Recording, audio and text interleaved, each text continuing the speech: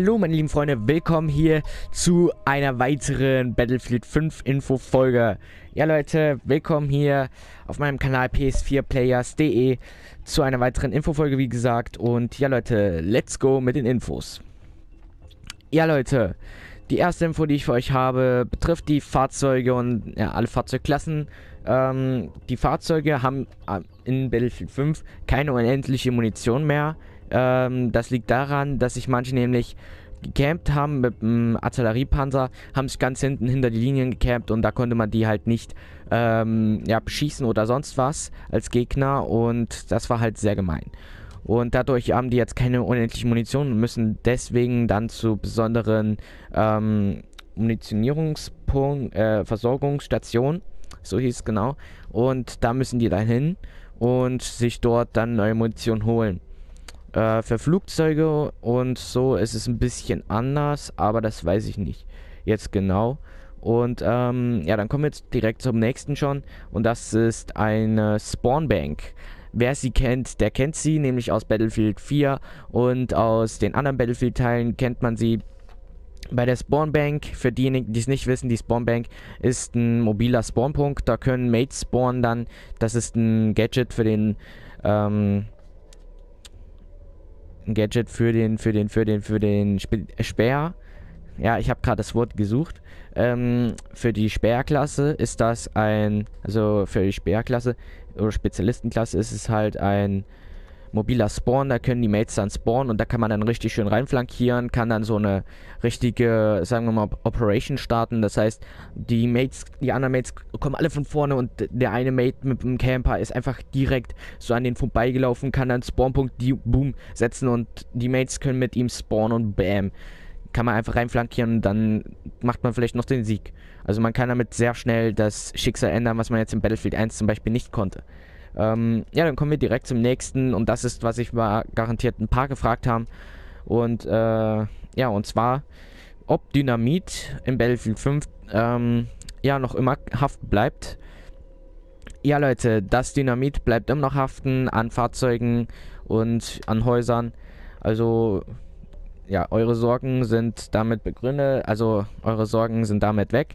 Für diejenigen, die es äh, dachten, dass es nicht geht oder so oder die es noch nicht wussten, auf jeden Fall, es geht wieder und äh, also es geht und ja, damit können wir dann auch mehr Fahrzeugkills wieder machen. Also nicht wie im Battlefield 1, dass es einfach nur im Boden geklatscht wird und nicht am Fahrzeug haften bleibt. Das ist natürlich dann blöd.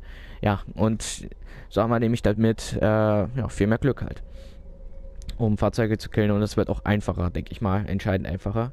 Ja, Leute, dann kommen wir direkt zum nächsten.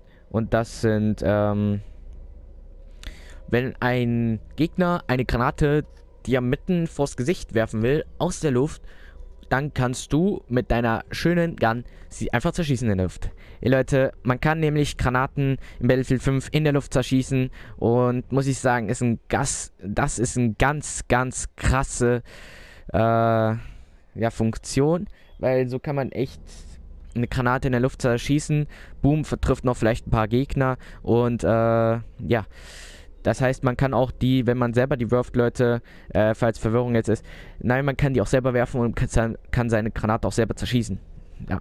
Also, das heißt, man kann damit auch ein paar Kills machen, garantiert. Und so, dass der Gegner, wenn der Gegner wegrennen will, kann man die schon in der Luft erschießen, kriegt dann noch sogar ein bisschen Schaden. Oder ihr werft die Granate hinter und schießt ihn in der Luft kaputt. Und ah, ihr wisst dann auf einmal, hinter dem Hügel sind Gegner. Das ist dann natürlich auch übel krass äh, gut, damit nämlich immer weiß, wo Gegner sind. Da ja in Battlefield 5 das jetzt nicht mehr so funktioniert, dass man auf die Gegner.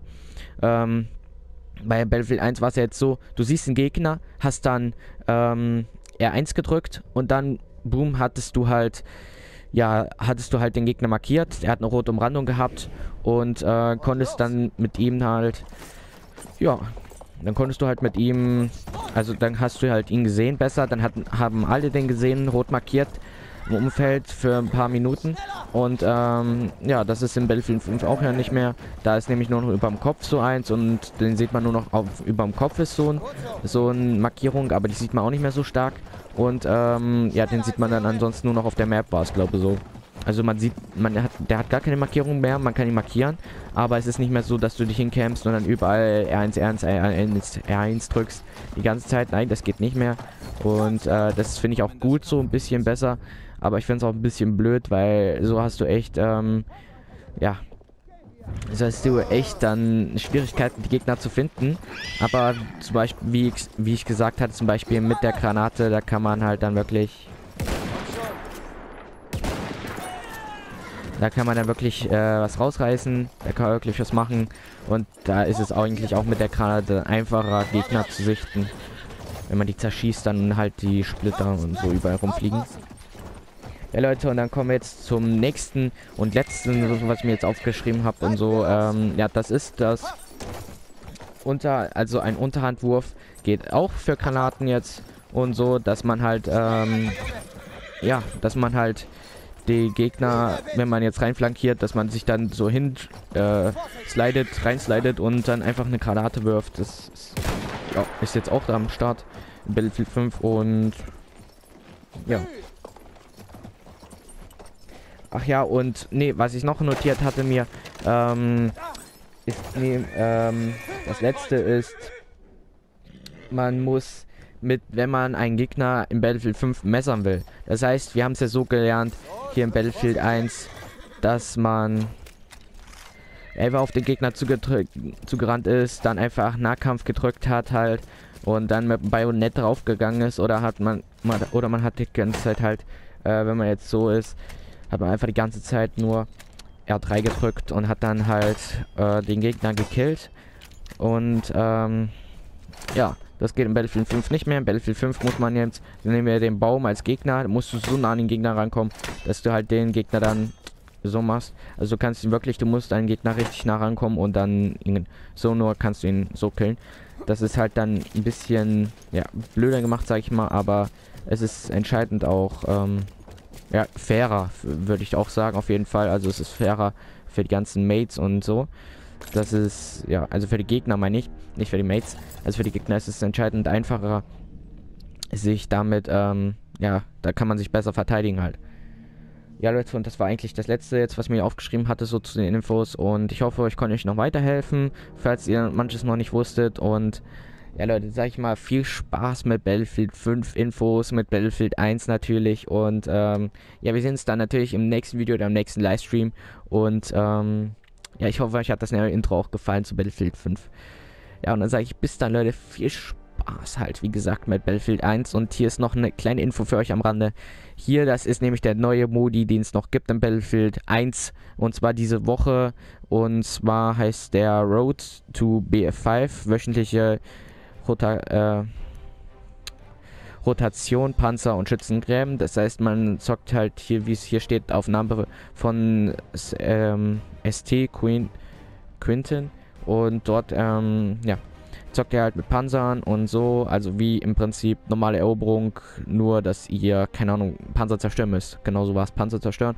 Und ja, und Leute, noch eine kleine, noch eine Info, Battlefield 5 ist ja jetzt schon, ähm, seit dem Dienstag hier frei die Herausforderung Road to Battlefield 5 wieder. Und ja Leute, falls ihr euch, falls ihr die machen wollt, nächste Woche kommt auch noch mal eine. Also dann könnt ihr, wenn ihr jetzt abwarten wollt, dann könnt ihr jetzt erstmal warten. Macht dann das erstmal nicht und dann habt ihr Zeit, um hier am 19. Juli nächste Woche dann, nächste Woche Dienstag genauer gesagt, ähm, diese Herausforderung halt zu machen, beide und dann ja, gibt es eigentlich nichts mehr. Das waren nämlich die letzten dann und dann gibt es hier, glaube ich, nur noch tägliche Aufgaben. Ja, und dann war es das hier mit Road to Battlefield 5. Und ja Leute, ich hoffe, ich konnte euch noch mit den Infos weiterhelfen, noch ein paar kleine Tipps geben, beziehungsweise auch die Infos jetzt noch hier zu, zu dem neuen Modi und allem. Und ja Leute, sage ich viel Spaß mit Battlefield 1, mit diesen Infos für Battlefield 1 noch und Battlefield 5 Infos. Und ja, sehen wir uns dann im nächsten Video und im nächsten Livestream.